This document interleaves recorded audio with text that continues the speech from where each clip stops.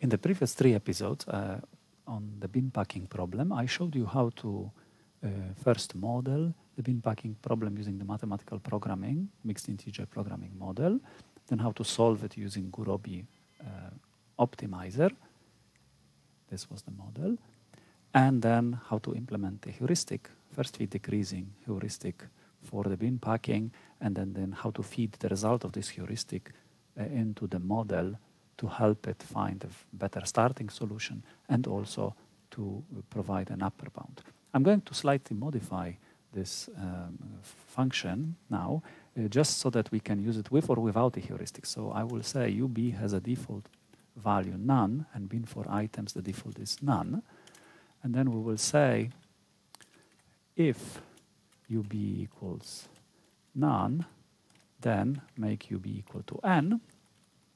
And also I'm going to say here if bin for item is not none, then let's use the initial solution from this bin for item. So now this heuristic, it should work without an initial solution or with the initial solution if I have one, right? And um, this, this model. So basically, I can uh, try it out. One more thing I want to modify is to say if log to console is true, then we print this. Otherwise, we don't print this. So let's again compile this. So now, let's say if I try uh, instance number uh, 0, and I try to run, right, let's change this with n bins equal. If I run this, um, and um, uh, so the heuristic finds a solution 23, but the exact solver finds a solution 22 and the lower bound 22. But if I, for example, try uh, instance number 5, and let's limit it to, let's say, 5 seconds, um,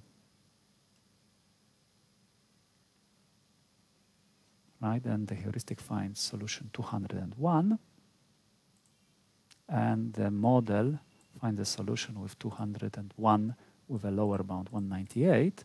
But if I try to, let's say, run it without a heuristic, if I say, uh, let's comment this out, and I say, just run it without providing these, and just say log to console equals false, and time limit equals 5, right? So I'm not providing the initial solution here. Then it runs for 5 seconds, and then it returns a solution 346, much worse, right? So you see there is benefit in using the heuristic. So uh, what's also interesting is if I want to run this, um, um, let's say, test my different methods for all the instances. Right? What is interesting also is to find out how long uh, a certain method takes. Now, the first fit decreasing is probably going to be very fast, but the model can take different time. And so it would be a good idea to measure the processing time for a particular uh, for a particular method. So what we can do is now instead of running this just for one instance, I could loop uh, I could run a loop. So say for um, for each instance in the bin packing data set, right? I want to run. So I want to say for index and bin packing data in enumerate bin packing data set. If you remember the bin packing data set, at the beginning, we have defined it as a list here, as a list of instances, right? So I want to run it for each of those instances, right? And so, for example, what I can do is I can say, um, run the heuristic, right? To run the heuristic, we can do this. Bin number of bins, right? And we could say, for example, we could then print right? Uh, and say n bins. We could say for index, print n bins, right? And so we could see how well, um, oh, this is not working correctly because we did not extract the data. So we have to say here, now that you have the data, take C and W from the data and then call the heuristic and then let's run it. And it is showing us, right, that it is uh, finding 23 bins here, 23 bins here, 49, and so on. These are the solutions by the heuristic, right? Similarly, we can run, um, for example, the exact algorithm. And um, to do that, we can run, instead of this method, I can call now my model. And I can say, um, n bins, n bins right? Um, run this with, let's say, time limit 5. And we can Let's actually create it in another box, so another cell, and let's run this. So actually adding also lower bound to the display. When I run this with a time limit 5 seconds, we're getting the following. And if you re recall, I mean, what I'm displaying here is the first number is the, uh, the solution that is found by the solver, and the second number is the bound. So you see this one is optimal, but this one, the gap is 1, this one, the gap is 1, and this one the gap is 5, and so on. And you see, for example, that already at this instance, uh, the um, right where the this with these two instances, the heuristic was worse, 23, 23, whereas this finds 22 and this even 21. Here the heuristic matches, but this and this instance, actually heuristic is better.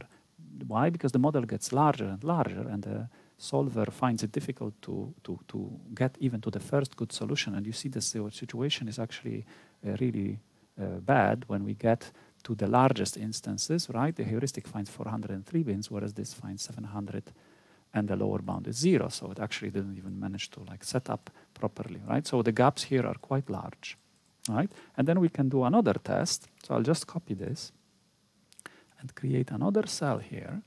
And what I will do here is I will also, now I will use the heuristic. So I'm going to get first the heuristic solution and then feed this heuristic into the exact and see the difference, right? Bin for item. And now I will try to run this and pause so that you don't have to wait for it. So you see now that it is running, uh, we can see uh, there are already improvements. So for example, in instance number two, right, which uh, we, we could not solve using using the heuristic of Isli optimality. Uh, sorry, the heuristic found 49, the exact found 49 with lower bound 48. But if you provide the initial solution 49 to the exact method from the heuristic, now the exact method within five seconds is able to improve it to 48. So you see there is an improvement here the exact method combined with the heuristic works better than the heuristic and works better than the exact method on its own, right? And uh, you see in the other instances, it's also much better. So for example, even the largest instance, which is um, which uh, has uh, 1,000 items, if you recall, right? Uh, on its own, it found a solution. The heuristic found a solution 403. The exact method was very slow and could only find a solution with 700 bins and no lower bound of significance. But now that we run it, uh, right, in the exact method with the heuristic initial solution, which, right, it didn't improve the 403, but it gave us a lower bound 399. And so you see, right, this combination here um, is is, is actually much better than uh, the heuristic on its own or the exact method on its own. Compared to the heuristic, this actually can improve some of the solutions, and compared to the exact, uh, right, uh, on its own, the, the, this actually can do more work if it is provided the initial solution.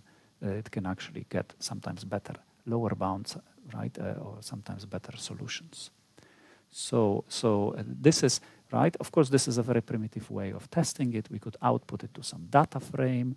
Uh, we could also try to collect uh, the computation time, right? Sometimes these, uh, these models solve before the time limit is reached. So we could also collect computation time. You can do this using uh, a time package and a function called time, right? Um, so for example, you could additionally say here from time import time, and uh, so there's a time function in the time package, and then you could say something like t start equals time, and then you can say um, t end equals time, right? So here in this, we'll be basically measuring how long these three functions, how much time they are taking, and then we can display here the difference, which is actually going to be, I think, in seconds, t and minus t start, and I can, for example, run this now for maybe 10 seconds rather than 5, and let's run it again, and I will pause the video so that you can see the result very quickly. So you see it's still running, the last instance is now being solved or it finished, and you can see the computation times also here now displayed as the last result in seconds, right? So the first instance solved in less than one second, the second one took 10 seconds and didn't solve to optimality. There is still a gap of one here, um, and uh, you see how imprecise it can be. It's actually 20 bins, but it is displaying as 20 point, and there is some tiny fraction there the, the, the, the, the instance number two, the third instance, solved to optimality in one second 25, uh, 0.25, right?